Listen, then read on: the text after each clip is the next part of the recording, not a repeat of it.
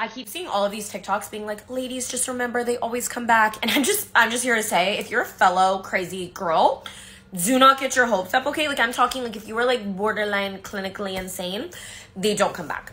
They don't come back. Don't let these girlies lie to you. Maybe, maybe for the normal girls, they do come back, but for us, they don't, okay? I've never had one singular man come back to me ever. And you know what? That's on me. Like it's my L. I'm gonna take it. And it's when you do things like set post notifications on Instagram for the guy who likes favorite sports teams. So when they post a photo, you can be the first person to like it. And then when he's scrolling through his Instagram feed, he like has to see your name in the like section. Or like drunk text a guy so much you have to literally block him because you cannot physically stop. Or like have sex with their friends. Like they're not coming back. And i just need you to know this. We need to be self-aware. They're not coming back. Do not get your hopes up. But like stay crazy. It's more fun. Okay love you.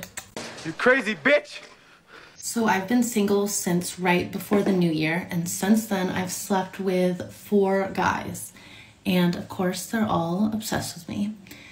And now I got my oats out of me. Like I'm not crazy anymore. I'm chill and I just want to hang out with someone who pleases me. I don't have any energy to please anyone anymore. So I'm like, who of them pleases me the most? Guess which one I want to see again. One was a drug dealer, one was a boxer, two were very respectable, great businessmen. Guess which one I want to see again? You'll never guess. The only one that I really like want to do it again with is the fucking drug dealer. Like, girl, what the fuck is wrong with you? Why is it always the same? Why?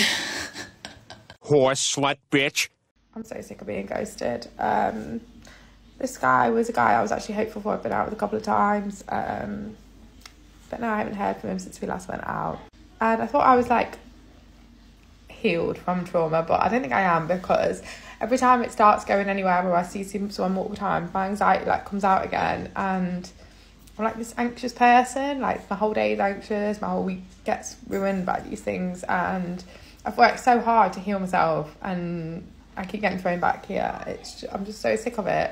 I don't know what you're all going to say. They ghost for a reason because they've got someone else. This one's gone back to his ex and I know it now, but still doesn't mean it's less shit for me because like I've had a great like time for however long it's been going on for. Um, and I was hopeful, which doesn't happen very often, and you'll know that from being on here. That I've been out quite a few times, and I'm never hopeful. Um, but yeah, I get over it. But if I'm quiet, this is why. Shut up, bitch! Okay, I am on a dating website that has like a gift shop, and you can create a wish list and attach it to your profile, and then like men can buy you stuff if you want and literally no one's ever bought me anything um, because I don't really talk to anyone on it. Um, but this man messaged me. He's like, "I'm gonna buy something off your gift shop," and I was like, or off your wish list, and I was like, "Perfect. I love that. Thank you." And he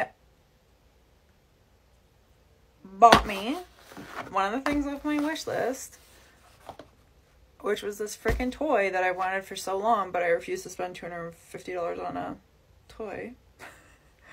Uh, and then he gave me $300. And I was like, thank you so much, sir. And then he never talked to me again. And I was like, that is how I want to live my life. That is it. That is the dream. I love that for me. So I'm going to go use this now and I'll let you guys know how it is. I'm kidding. I'm not going to let you know. Bitch.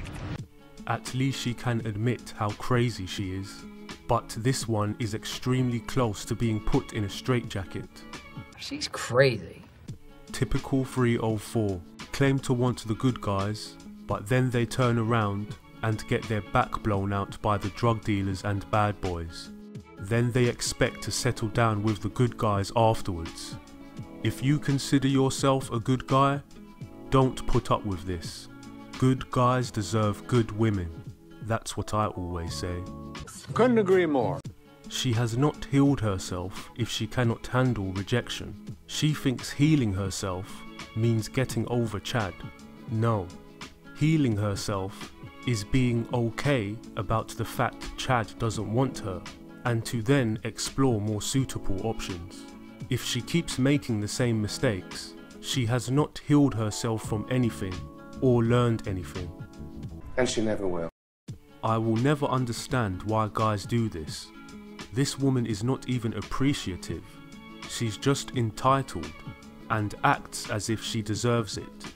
The guy just inflated her ego. For what? Because he is crap. Real men of genius.